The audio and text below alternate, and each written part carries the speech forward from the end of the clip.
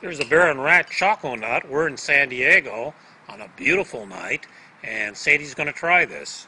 All right, Sadie, here, look what I got. We got Bear and Rat yogurt, frozen treats for dogs.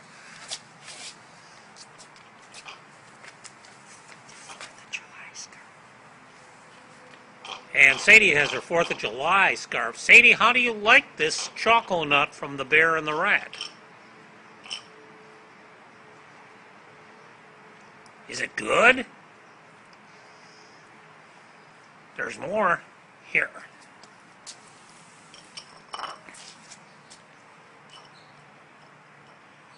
Mmm, good.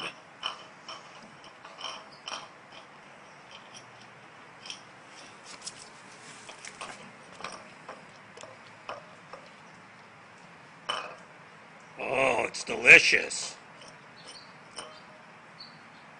Sadie, now a big smile for all the Bear and Rat frozen treat fans. And this is Choc 'o' Not.